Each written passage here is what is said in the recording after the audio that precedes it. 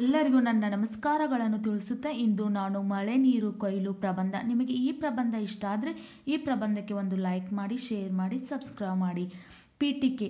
ಮಳೆ ನೀರು ಕೊಯ್ಲು ಎಂದರೆ, ಮಳೆ ನೀರು ಕೊಯ್ಲು ಎಂದರೆ ಭೂಮಿಗೆ ಬಿದ್ದಂಥ ನೀರನ್ನು ವಿವಿಧ ಅವಶ್ಯಕತೆಗಳಿಗಾಗಿ ಸದಾ ಉಪಯೋಗಿಸಲು ಅನುಕೂಲವಾಗುವಂತೆ ಸಾಧ್ಯವಾದಷ್ಟು ಪ್ರಮಾಣದಲ್ಲಿ ಸಂಗ್ರಹಿಸುವುದು.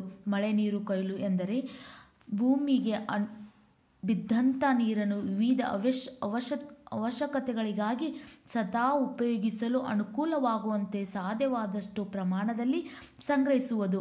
ವಿವಿಧ ಉದ್ದೇಶಗಳಿಗೆ ಪುನರ್ಬಳಕೆ ಮಾಡು, ಮಾಡುವುದು ಮಳೆ ನೀರು ಕೊಯ್ಲು ಎಂಬುದು ಮಳೆ ನೀರನ್ನು ಒಟ್ಟುಗೂಡಿಸುವ ಅಥವಾ ಸಂಚಯನ ಮಾಡುವ ಮತ್ತು ಶೇಖರಿಸಿಟ್ಟುಕೊಳ್ಳುವ ವಿಧಾನಕ್ಕಿರುವ ಹೆಸರು. ಮಳೆ ನೀರು ಕೊಯ್ಲು ಹೆಸರು ಎಂದರೆ ವಿವಿಧ ಉದ್ದೇಶಗಳಿಗೆ ಪುನರ್ಬಳಕೆ ಮಾಡುವುದು ಮಳೆ ನೀರು ಕೊಯ್ಲು ಎಂಬುದು ಮಳೆ ನೀರನ್ನು ಒಟ್ಟುಗೂಡಿಸುವ ಅಥವಾ ಸಂಚಯನ ಮಾಡುವ ಮತ್ತು ಸೇಕರಿಸಿಟ್ಟುಕೊಳ್ಳುವ ವಿಧಾನಕ್ಕಿರುವ ಹೆಸರು. ವಿಷಯ ವಿವರಣೆ ಮನೆಗಳು, ಗುಡಾರುಗಳು ಮತ್ತು ಸ್ಥಳೀಯ ಸಾರ್ವಜನಿಕ ಕಟ್ಟಡಗಳು ಚಾವಣಿಗಳಿಂದ ಅಥವಾ ವಿಶೇಷವಾಗಿ ಸಿದ್ಧಗೊಳಿಸಲಾದ ನೆಲದ ಪ್ರದೇಶಗಳಿಂದ ಸಂಗ್ರಹಿಸಲಾಗುತ್ತದೆ. ಮಳೆ ನೀರು ಸಾಮಾನ್ಯವಾಗಿ ಉತ್ತಮ ಗುಣಮಟ್ಟದಾಗಿರುತ್ತದೆ ಆಗಿರುತ್ತದೆಯಾದ್ದರಿಂದ ಬಳಕೆಗೆ ಮೊದಲು ಅದನ್ನು ಸಂಸ್ಕರಿಸುವ ಅಗತ್ಯ ಕಂಡುಬರುವುದಿಲ್ಲ. ಮಳೆ ನೀರನ್ನು ಕೊಯ್ಲು ಮಾಡಲು ಹಲವಾರು ವಿಧದ ವೈವಿಧ್ಯ ವ್ಯವಸ್ಥೆಗಳಿವೆ. ಮಳೆ ನೀರು ಕೊಯ್ಲು ಮಾಡಲು ಹಲವಾರು ವಿಧದ ವ್ಯವಸ್ಥೆಗಳಿವೆ. ಸಾಮಾನ್ಯವಾಗಿ ಮಳೆ ನೀರನ್ನು ನೆಲದಿಂದ ಇಲ್ಲವೇ ಚಾವಣಿಯೊಂದರಿಂದ ಕೊಯ್ಲು ಮಾಡಲಾಗುತ್ತದೆ. ಈ ಎರಡು ವ್ಯವಸ್ಥೆಗಳಿಂದ ನೀರನ್ನು ಸಂಗ್ರಹಿಸಬಹುದು.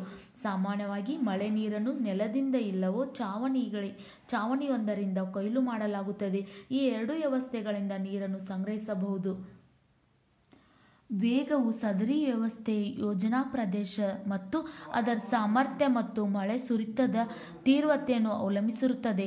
ಮಳೆ ನೀರನ್ನು ಅಂತರ್ಜಲ ಪುನರ್, ಪುನರ್ವಸತಿ ಕಾರ್ಯಕ್ಕೂ ಬಳಸಬಹುದಾಗಿದ್ದು, ಇದರಲ್ಲಿ ನೆಲದ ಮೇಲೆ ಹರಿಯುವ ಹೆಚ್ಚುವರಿ ಪ್ರಮಾಣದ ನೀರು ಸಂಗ್ರಹಿಸಲ್ಪಡುತ್ತದೆ ಹಾಗೂ ಹೀರಿಕೆಗೆ ಒಳಗಾಗುವುದರ ಮೂಲಕ ಅಂತರ್ಜಲ ಪ್ರಮಾಣದಲ್ಲಿ ಹೆಚ್ಚಳವಾಗಲು ಕಾರಣವಾಗುತ್ತದೆ. ಉಪಸಂಹಾರ.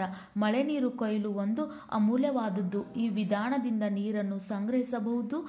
ಮಳೆ ನೀರು ಕೊಯ್ಲು ವಿಧಾನ ಮಾಡುವುದರಿಂದ ನಾವೆಲ್ಲರೂ ನೀರಿನ ಸಮಸ್ಯೆ ಕಡಿಮೆ ಮಾಡಬಹುದು.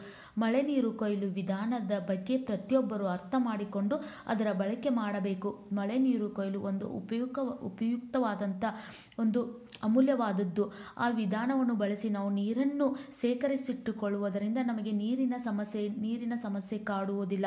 ಆದ್ದರಿಂದ ಪ್ರತಿಯೊಬ್ಬರು ಮಳೆ ನೀರು ಕೊಯ್ಲನ್ನು ಮಾಡಬೇಕೆಂದು ಹೇಳುತ್ತಾ ಈ ಪ್ರಬಂಧ ಮುಗಿಸುತ್ತೇನೆ. ನಿಮಗೆ ಈ ಪ್ರಬಂಧ ಇಷ್ಟವಾದಲ್ಲಿ ಈ ಪ್ರಬಂಧಕ್ಕೆ ಒಂದು ಲೈಕ್ ಮಾಡಿ, ಶೇರ್ ಮಾಡಿ, ಸಬ್ಸ್ಕ್ರೈಬ್ ಮಾಡಿ.